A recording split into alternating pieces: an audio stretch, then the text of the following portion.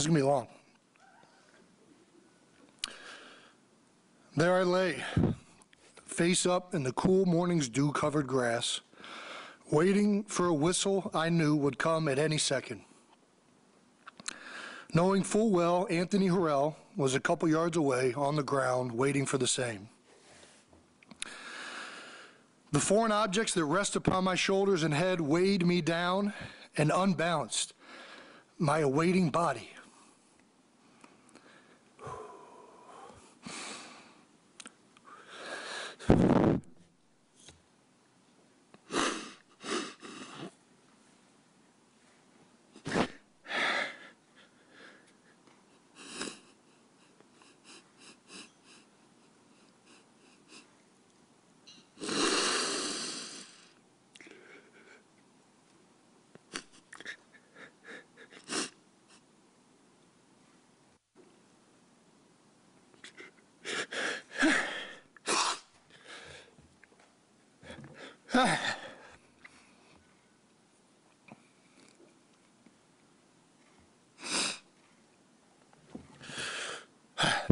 As the whistle blew, I arose,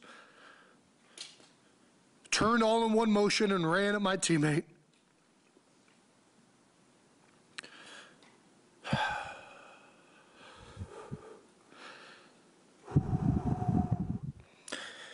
It isn't even the collision I remember most, but the feeling before of what in the fuck is about to happen.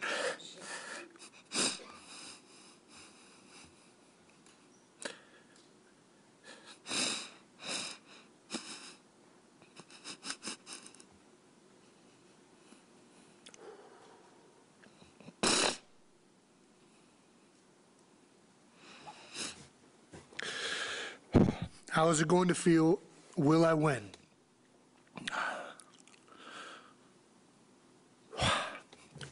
Whenever I smell the clippings of a freshly mowed grass, I am brought back to this day.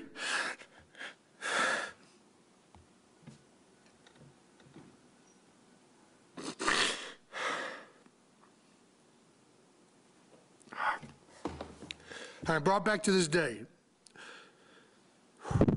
12 years old.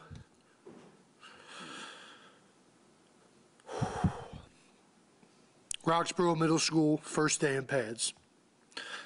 I've been asked many times why did I choose football, what drew me to the game, and I never have an answer that gets it right.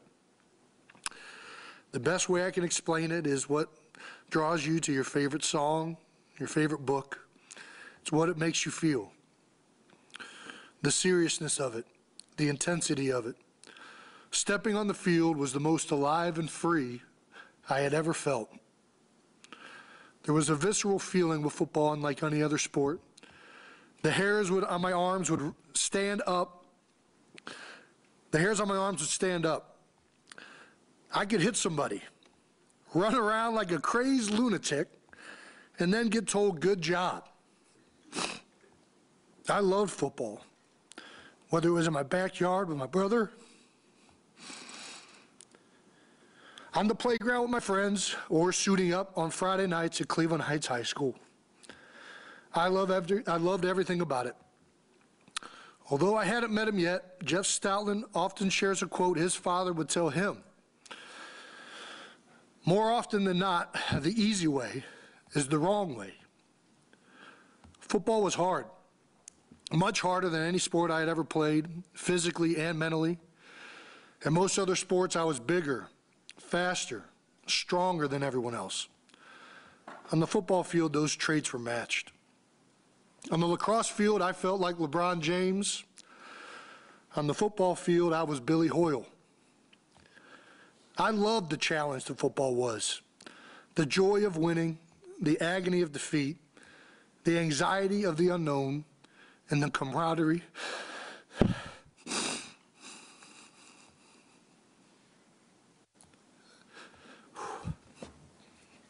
of my teammates.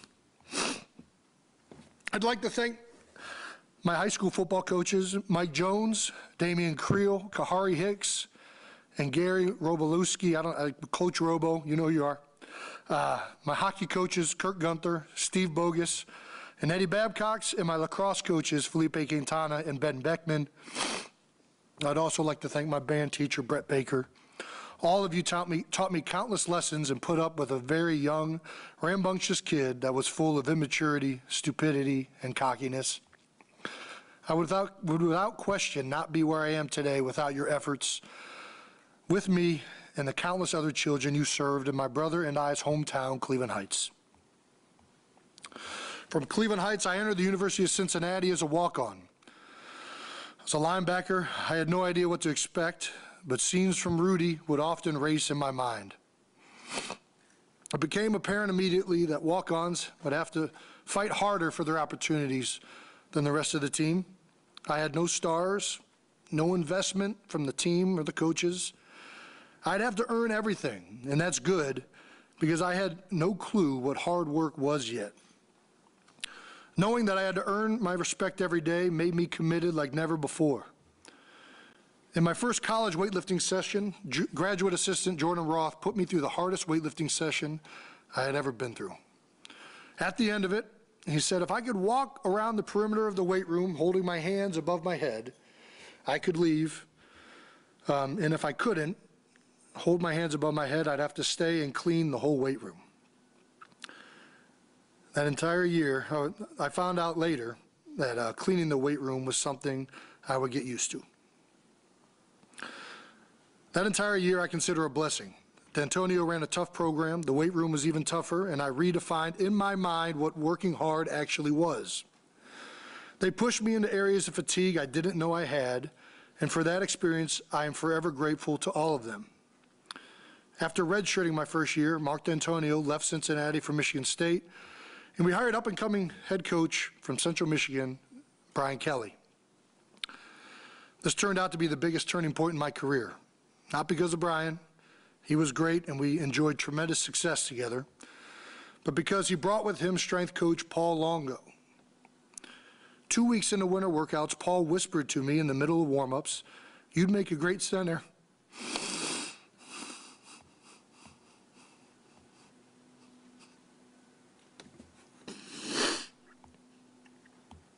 I shrugged it off.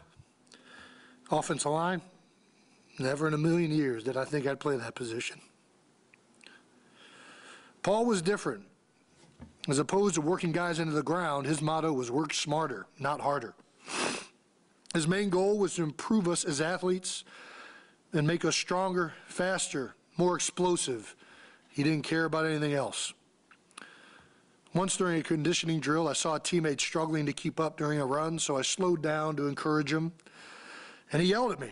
He said, You run this exercise the best you can. Lead from the front.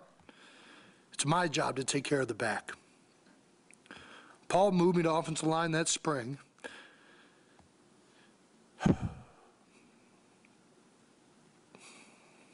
And it ended up being the single greatest move that ever happened to me as a football player.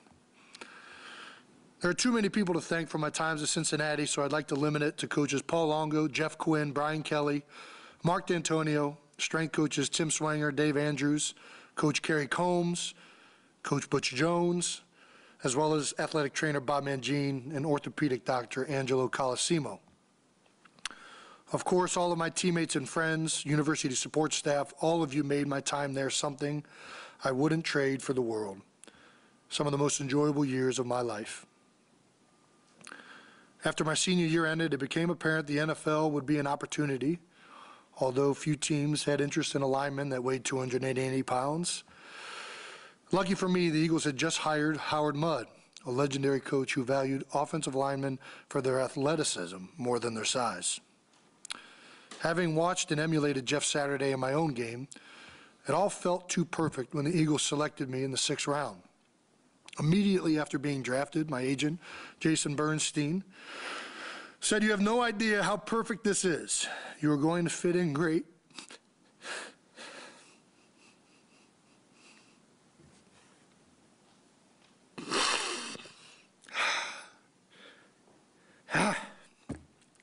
Come on. You're going to fit in great in Philadelphia. This is your kind of town.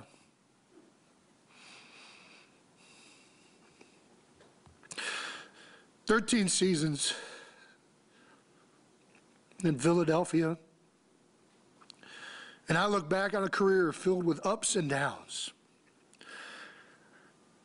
I'd like to thank the four head coaches I played for Andy Reid, Chip Kelly, Doug Pederson, and Nick Sirianni. Consider myself lucky to have played for each of you. I'd like to thank Jeffrey Lurie for his dedication to building an organization that values its employees as people and gives them the resources necessary to thrive. I've only had one boss, so I don't know much to compare to.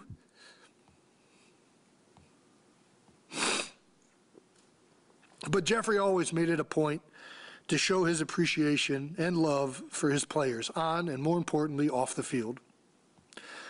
I'd like to thank Howie Roseman for drafting me and for always working hard to improve our team, even from the other side of the building that one year. Whether it be coaches, players, salary cap, or the numerous other things you control, you work tirelessly and calculatedly to improve this organization. I'd like to thank Big Dom DeSandro, truly the life force of this organization. No one gives more time and energy to this team. At the drop of a hat, Dom is by your side. My family and I give our sincerest thank yous for always treating us with dignity and assistance. There are so many teammates, coaches, support staff, trainers, equipment, cafeteria workers. You guys have no idea the amount of people in this building it takes to assist our players and me. I'd like to thank you all by name, but we'd be here far too long for anyone to continue listening. So instead, I will share memories, if that's all right with you all. When I look back down the road, I'm sure there are things I will forget, but these are some of the things I'm sure I won't. I won't forget the call I got from Andy Reid on draft day and my father rushing into the room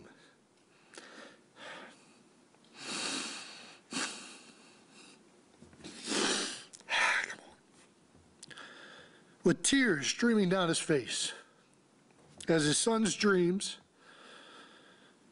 had just been realized. It had just been announced on TV I had been drafted by the Philadelphia Eagles. And I won't forget two years later, that same man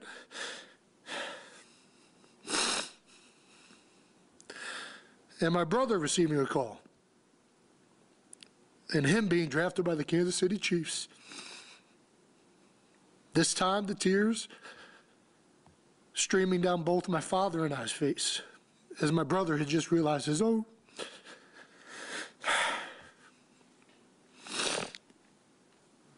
I won't forget the first time I saw Jason Peters do a one on one pass set with Trent Cole and being amazed at the speed, balance, and power I had just witnessed. It reminded me or looked like a grizzly bear wrestling a panther. It was so impressive it made me question if I was good enough to play it in this league. I watched the next couple guys go and thought, okay, I can do this. I won't forget Thirsty Thursdays at 879, a bar owned by Brent Celek and Todd Herremans that stayed open a whole six months because nobody paid for a drink. Poor business practices indeed. That bar may have closed quickly, but the friendships it forged remain open to this day.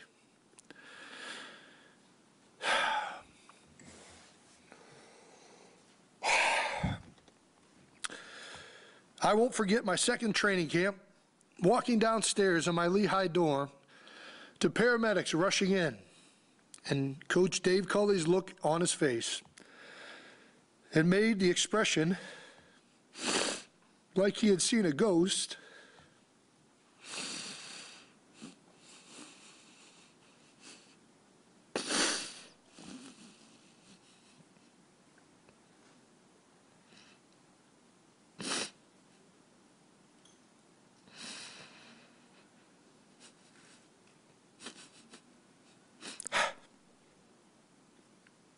a whole lot clearer.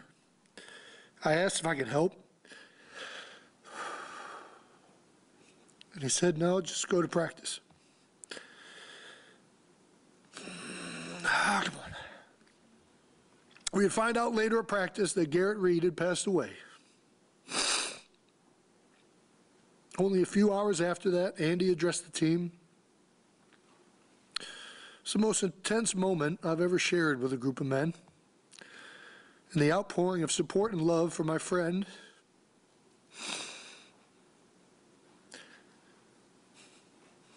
and the Reid family at the funeral soon after was truly remarkable. I won't forget Chip Kelly's first game as Eagles head coach against the Washington Redskins. We ran close to 50 plays in the first half. We were so tired, but it didn't matter because they couldn't stop us. The NFL had never seen something like this before. I remember all of us thinking after that game, this is going to change the NFL.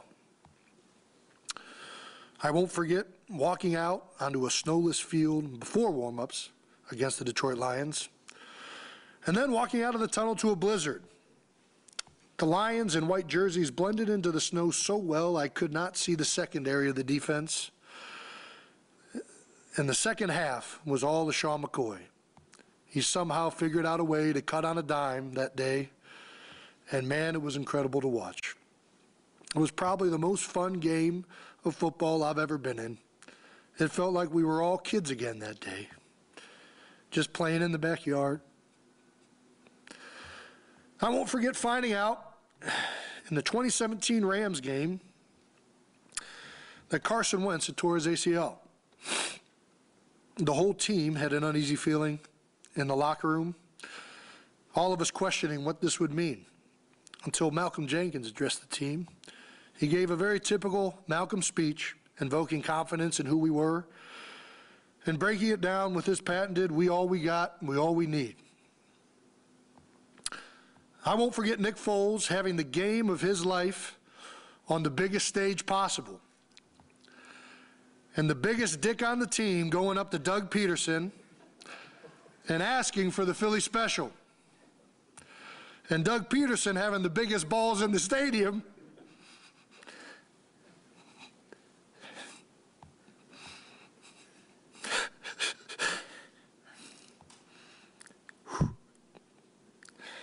to say, yeah, let's do it. And Brandon Graham finding a way to stop Tom Brady once, literally once. And the way the ball hung in the air on that last Hail Mary and how it felt like an eternity. Just looking, no sound registering, completely engulfed in the moment. When it finally landed, running onto the field, looking for a flag, anything that would mean it was over. We had done it. I won't forget the parade and what it meant to the city of Philadelphia, the joy it brought our community, and the closure it gave to so many. The stories from fans that had been waiting generations for that moment fulfilled that triumph to another level. On the route, I remember meeting a woman with ashes of a dead relative whom she had promised wouldn't miss the parade if the Eagles had ever won it. A speech that had written itself and one that had symbolized what we had all lived as players, as a team, and as a city. That wasn't my speech, it was Philadelphia's. I won't forget my mother becoming mom of the NFL a representative for all moms out there who have sacrificed so much for their children. I won't forget Nick Sirianni sending me kegs of beer to convince me to keep playing these last few years. He knows the key to my heart. I won't forget making the playoffs in his first season, the Super Bowl in his next, and the immense heartbreak at the collapse of this last season. And although last season truly sucked, I wouldn't trade any of my time with you or those teams for the world. Everything happens for a reason, and I have truly enjoyed my time with you, Coach. Sometimes the flowers get knocked back a bit.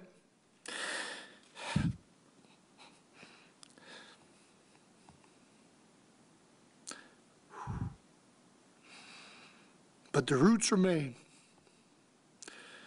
And I can't wait to watch what reblossoms this next season.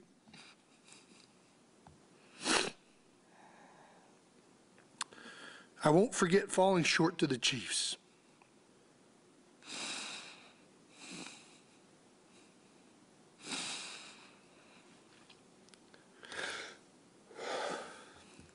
This is where it's going to go off the rails.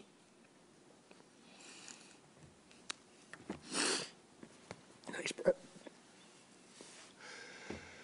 I won't forget falling short to the Chiefs and the conflicted feeling of immense heartbreak I had selfishly.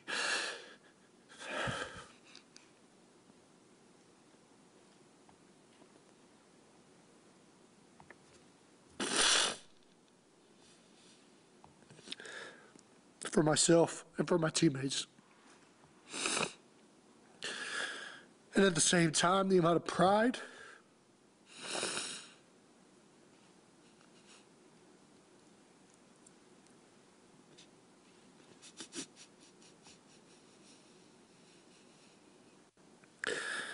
I had that my brother had climbed the mountaintop once again. We have a small family.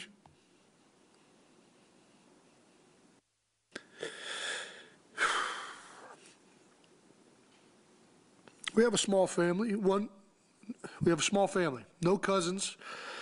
One aunt, one uncle. It was really my brother and I our whole lives.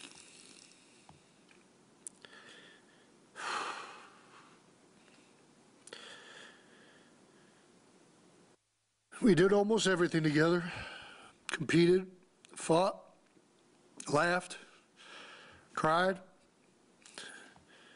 and learned from each other. We invented games, imagined ourselves as star players of that time. We'd envision making the winning plays day after day on Kohler Ridge Road.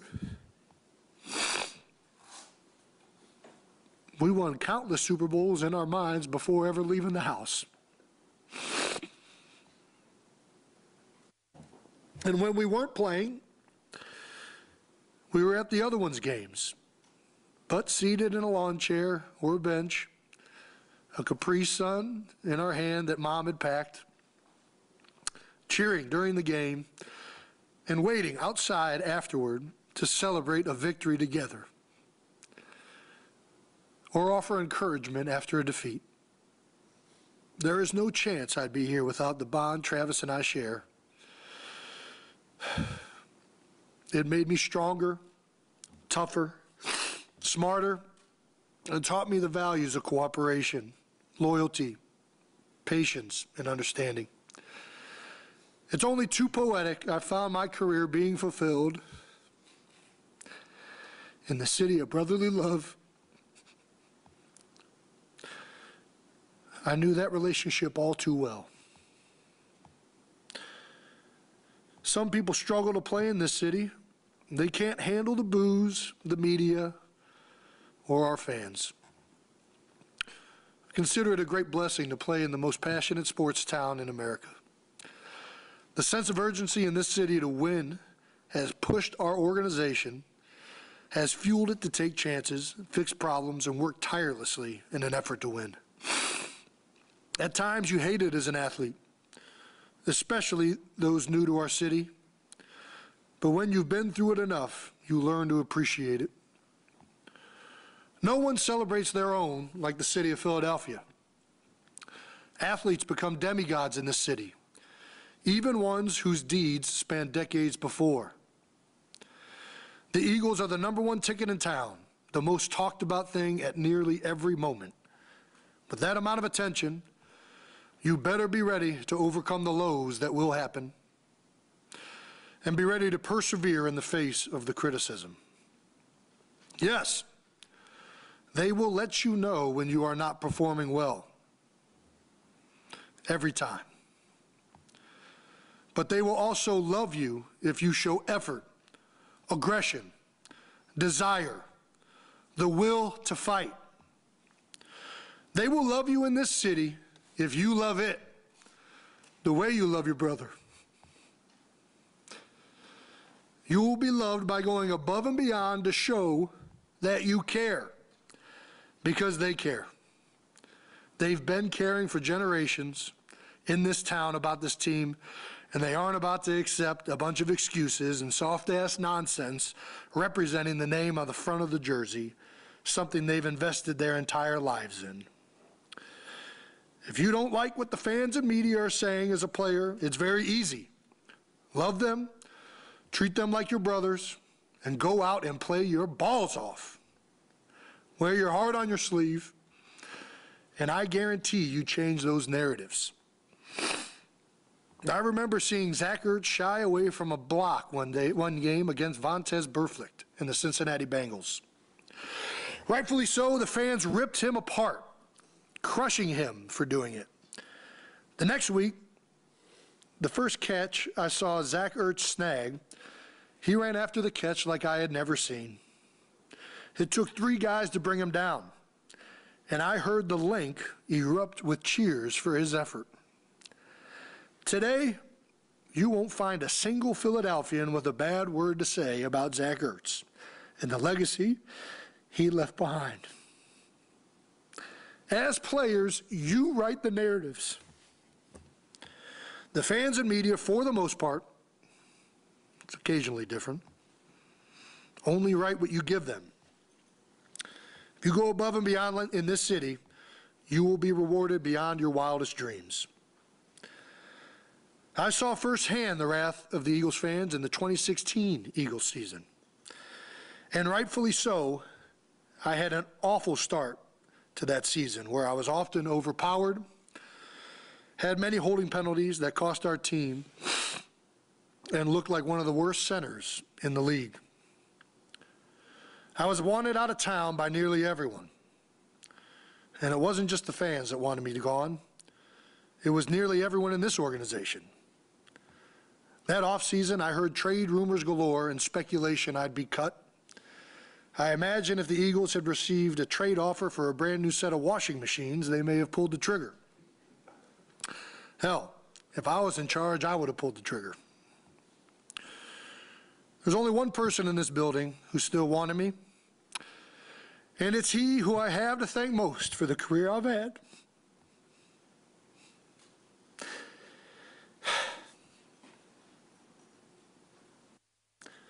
That's Jeff Stoutland.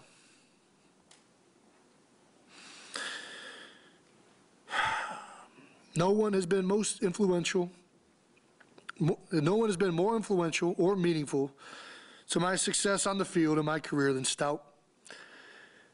I think one of the greatest things a human being can give another is belief.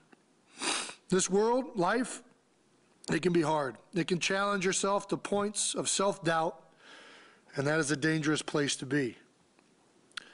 Well, I am lucky. My whole life, I have been surrounded by people that have believed in me.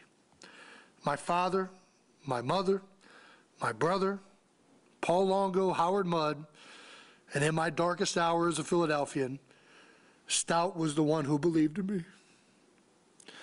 He was adamant my problems could be fixed with proper technique, fundamentals, and work. And work we did.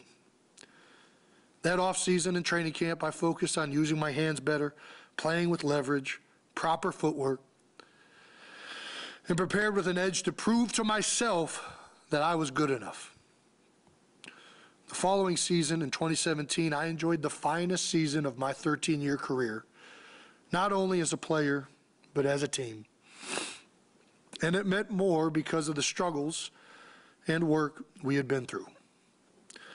Without him, I doubt any of this would have been possible or that I'd still be here. Since that offseason, I have amassed six All Pros, five Pro Bowls, and am recognized by some as one of the best centers to ever play the game. I am very proud knowing where I once was and the legacy I have left behind, and the man we can all thank is Jeff Stoutland. Second stout quote of the evening no man is an island. We must draw our strengths from others. I'd like to thank my teammates, my other brothers. Oh, how I've drawn my strengths from you all. I was fortunate to play with great players, some of the best this league has to offer. But it was really off the field, just sitting in the cafeteria with my teammates, breaking bread, and talking about life that were some of the most meaningful times I spent in my career. The NFL is truly like no other place, and at the same time, represents America as a whole like no other. Fat offensive linemen from Cleveland play on the same field as skinny wide receivers from Louisiana and kickers from Chicago. Tight ends from Stanford play next to tackles from Kilgore Community College. Defensive ends from inner city Detroit play next to defensive tackles from Yazoo City, Mississippi. Six foot nine, Jordan Mailata plays the same sport as four foot eight Darren Sproles. the melting pot of geographic location, economic background, race, body type, personality, and athletic traits of an NFL locker room is truly remarkable. And we all rely on each other and respect one another and each of our differences because we know we're stronger together. I will always cherish this brotherhood, the relationships it fostered, and how unique an experience it has been to enjoy the field with you all.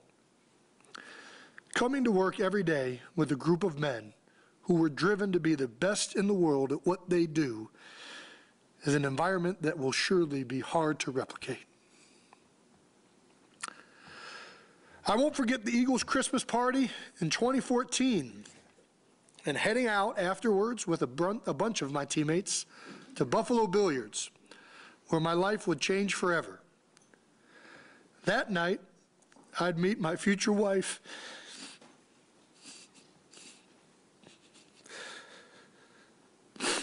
I still remember the moment she walked through the door.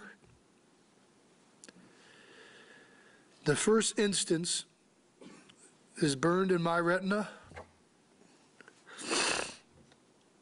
It was like she glided through the opening, an aura around her. Then she started talking. And I thought, man, is this what love feels like? She was beautiful and smart, serious yet playful. I knew it right away. I think it's no coincidence I have enjoyed my best years of my career with Kylie by my side. Every accolade I have ever received has come with her in my life. She has brought the best out of me through love, devotion, support, honesty, intelligence, and of course, a swift kick in the ass from time to time. She has also given me three beautiful girls and a life that increasingly brings me more fulfillment off the field than it does on. We've, we've had a great run, Kai. I am a product of my upbringing. I think one of the best things a person can be in this world is a father. A father who is present, loving, devoted just may be the greatest gift a child could ask for in our society. And I have a damn good one. My father believed in me more than anyone.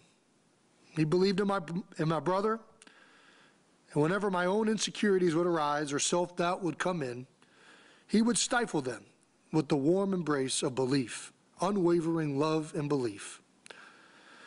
My father worked in the steel industry in Cleveland for the majority of his life. I remember him taking me into a plant one time and standing in awe of the molten steel and watching a giant ladle containing a bunch of it hover over our heads just feet away. The heat radiated when the molten steel was in sight. And I remember thinking how utterly amazing my father's work was. He was the man and continues to be the man and father I strive to be. My mother was a part of a generation of females that was largely the first of their families to go to college. When deciding to go to college, her own father said he disagreed with the idea. he instead, uh, telling her instead she become a, she should become a secretary or be a wife. In fact, the only thing that convinced him into letting her go to college was my grandmother's insistence that my mother would find an educated man to settle down with, and that would mean more money for the family. Mom took the opportunity to go to college and graduated from the Ohio University. Worked in banking for over 40 years, climbing the corporate ladder from teller to a VP, and was largely the breadwinner for our family. I like to think I got my toughness, aggression, and lunch pail mentality from my father. And from my mother, I learned the all too important lesson of never of never letting anyone tell you what you can't do. And so this all brings us here to today, where I announce that I am retiring.